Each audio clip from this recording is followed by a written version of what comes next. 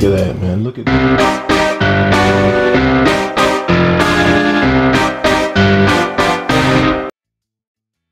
What's going on, Renaissance people? Renaissance Cam back in effect.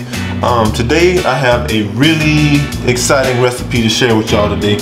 Um, long story short, as a child, I used to love watching SpongeBob SquarePants. I still do, honestly. Um, I I'm so glad they put it on uh, Amazon Fire Stick TV, whatever that is. I'm glad it's on there. I still watch all those episodes.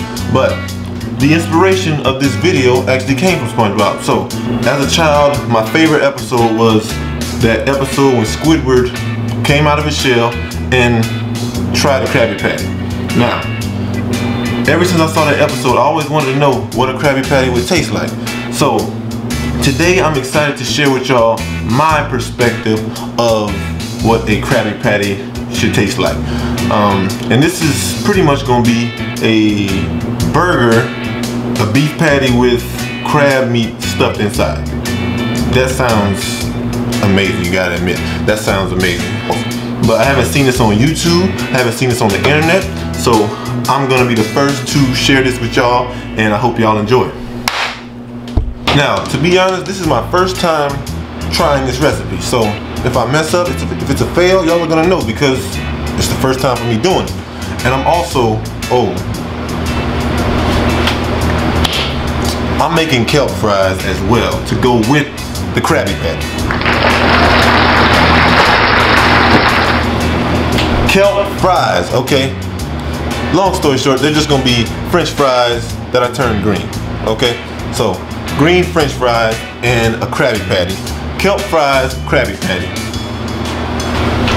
So all you guys are gonna need for this recipe is some 70-30 ground beef, some crab meat, some sliced sharp cheddar cheese, some cornstarch, some self-rising flour, some horseradish mustard, some yum yum sauce, some pickled chips, some egg, some potatoes, some butter lettuce, some sesame buns, some sea salt, some parsley, some extra virgin olive oil, some green food coloring, some paprika, some garlic powder, some lemon pepper, some complete Badia seasoning, some black pepper, some Old Bay seasoning, some melted butter, some parsley, some tomato, and some red onion. Now as far as the ground beef, I use the 70-30 because fat is flavor, so I want to incorporate a lot of flavor into these Krabby Patties.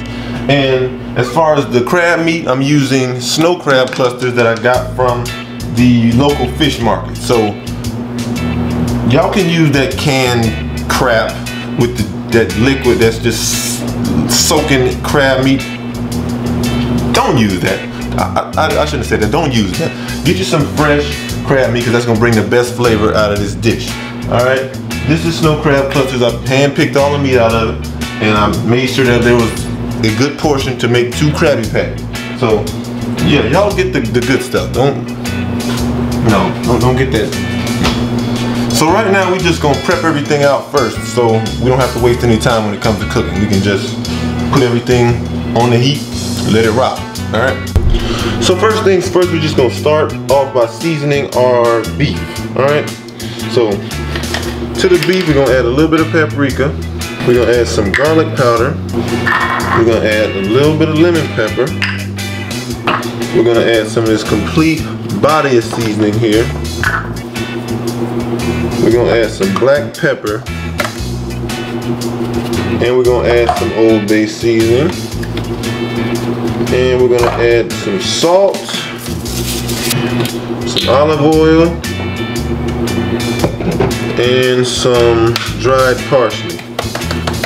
After all that's added, we're gonna crack in one egg. And we're gonna mix. We're gonna get our hands dirty and we're gonna mix all this up.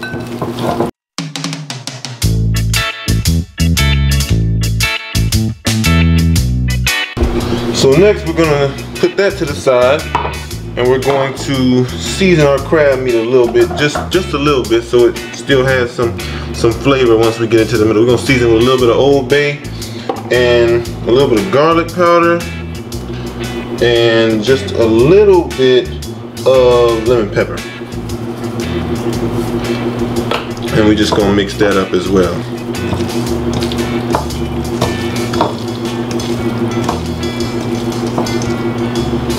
Alright, now you guys, it's time for the fun part. So now we're gonna form our patties. Now just get you a little piece of parchment paper or aluminum foil just to sit them on once you finish making them. So we're just gonna take a good wad of the ground beef and we're just gonna start kneading it together.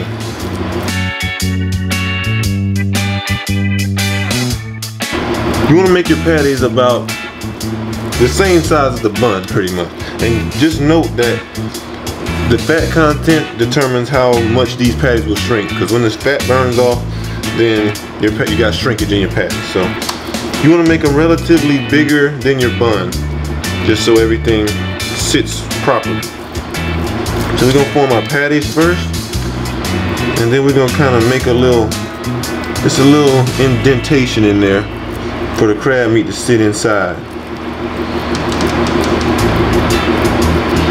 We're gonna take a little bit of our crab meat, or a lot, however you wanna do it. Oh, that looks good already, doesn't it? Yeah, that looks great. A little bit in there, a lot, however you wanna do it, doesn't matter to me. You gotta make this your own. This, this is my recipe. I thought this up in the middle of the night one night. Take it. You just want to cover it conceal it. Take some other pieces of it. Just make sure that all the crab meat is concealed. There's nothing protruding out. It's almost like a crab ball.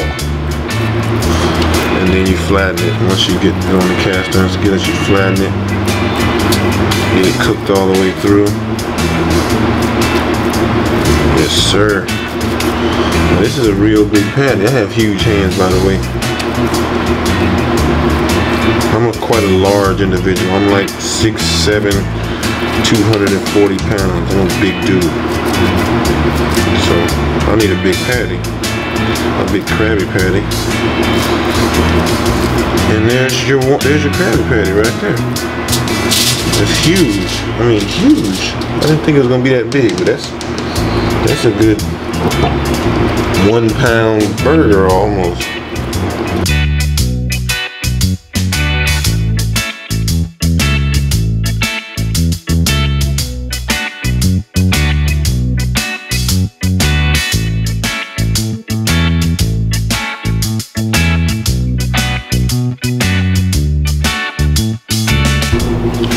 So now we're gonna take these and put these in the fridge for a little bit, let them solidify so that they don't fall apart as easy when we go to cook them, all right? All right, so now we're gonna take our potatoes and we're gonna prep them. Now, the easiest way to make french fries to me is to slice once, twice, three times, four times, five times. And then you just take each one like this here and just cut them up into individual strips. Pretty much the same size. And there you have it.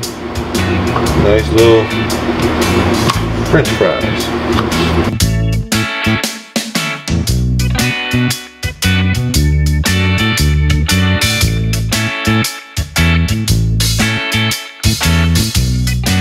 Now what we're gonna do with our fries, we're just gonna put them all in a bag. And this is just gonna speed up the seasoning process as well as the food coloring process. I hope these really turn green. Honestly, I don't I don't know if they're gonna this is gonna work. I know they're gonna be good, but I don't know if they're actually gonna be green or some other color. I hope they, they turn green though. But anyways, we're gonna take a little bit of salt Um, we're gonna take some pepper.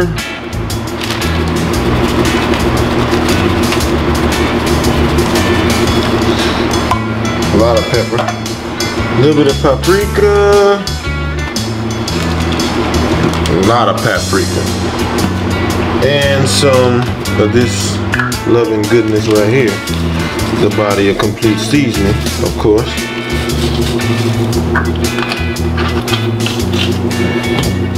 Then we're just gonna take a little splash of olive oil. It's gonna help everything kind of start coming together. Close that bad boy and shake it.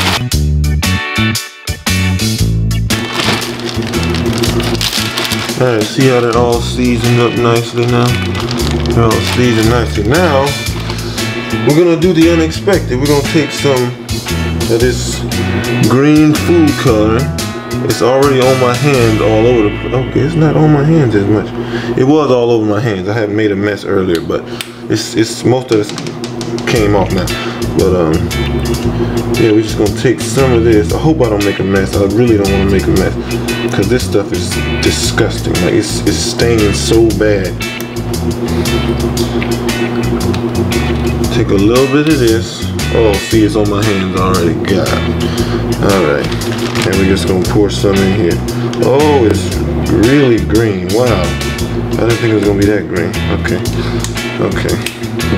We're gonna take this and shake it, shake it, shake it, shake it, shake it. Now we want to soften this green up. This is a really, really loud green. See that? It's really loud. So we're gonna take a little bit of self-rising flour and dump some in there.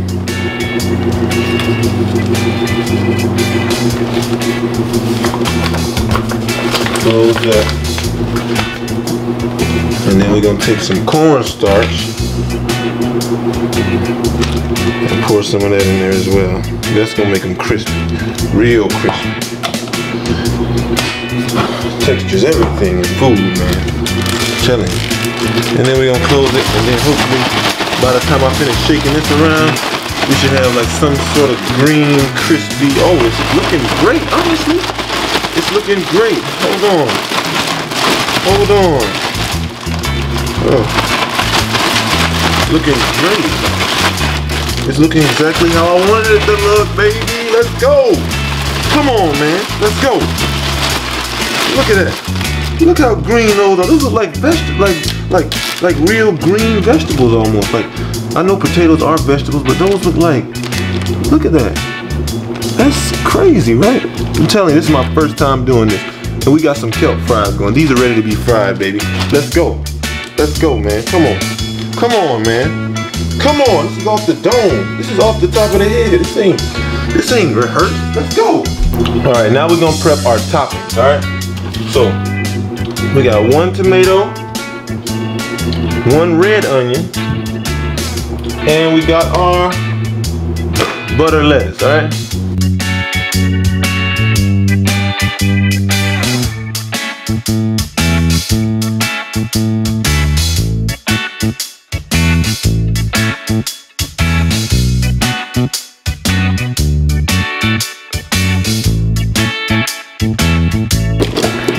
Pickles. I forgot about the pickles.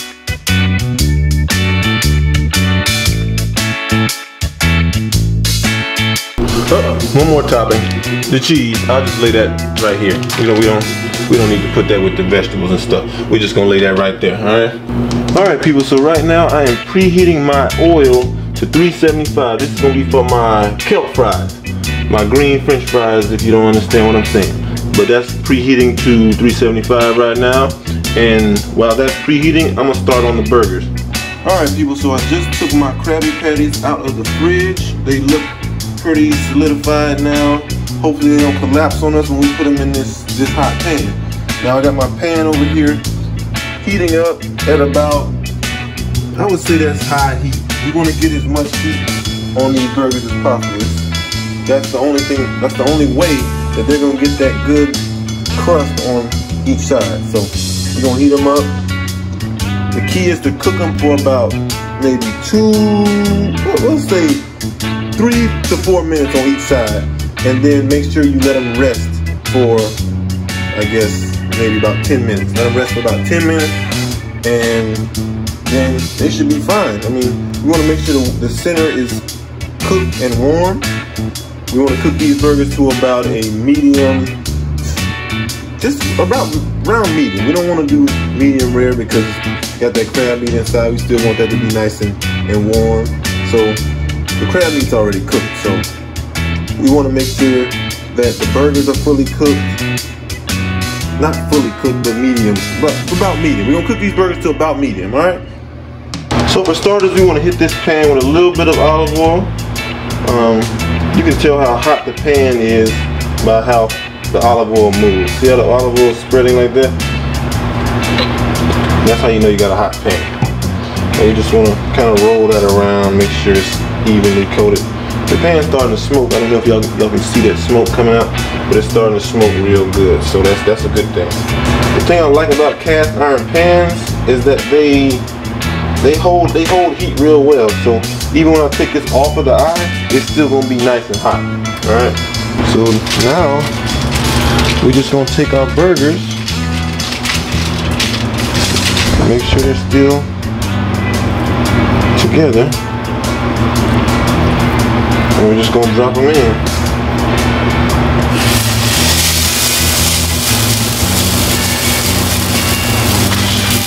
Now I'm gonna turn this um, this vent fan on so I don't smoke up the entire house.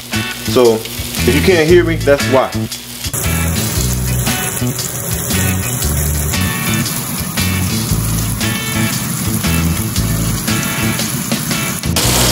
Alright guys, so these have been cooking for about three, probably four minutes.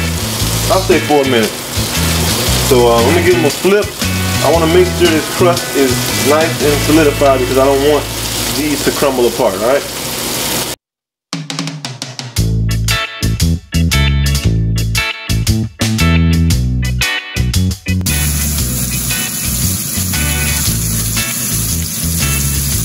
Alright guys, so I got my burgers right here under some aluminum foil resting.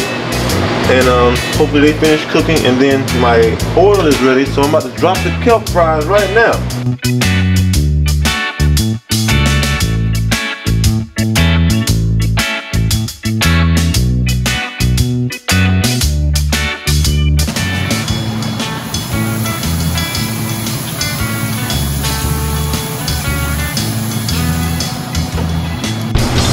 Alright guys, for our buns, I have some melted butter here and we're simply going to just brush some of this melted butter onto our buns and just give them a nice toast so that none of the ingredients soak into it. Alright?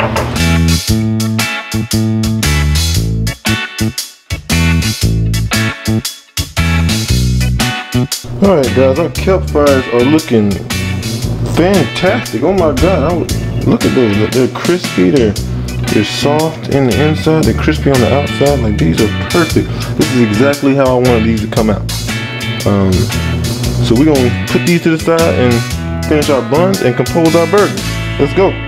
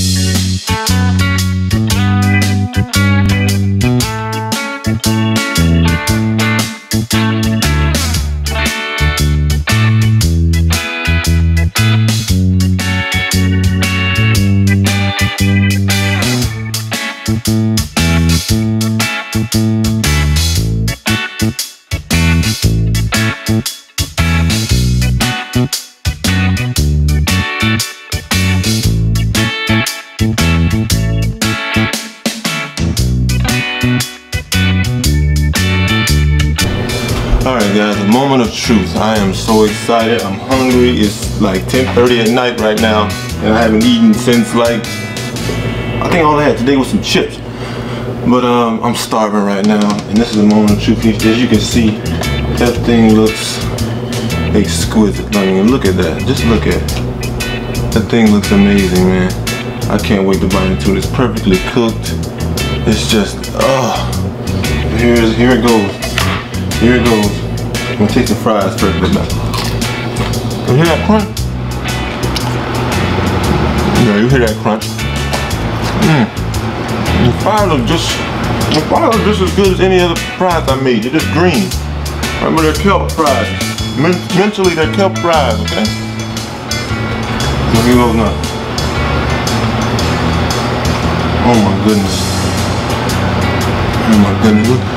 Look, how juicy it is. Just oh, it's falling.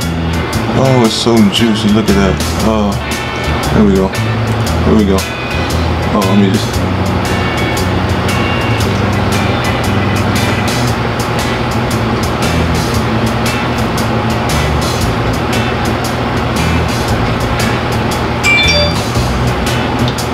Oh my God.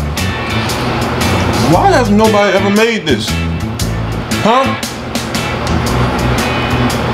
I don't even like onions, but the onions set it off. Oh. Mm. I'm not, I'm not the slow motion that all that juice, all that juice that just fell off of them. I'm not the slow motion that. But I might eat this whole thing in this whole sitting right now. I'm so. Oh my god. I'm dying. Please, please you guys, make this. Make this for your girlfriend, your boyfriend. Parents, make this for your children. Your children will love this.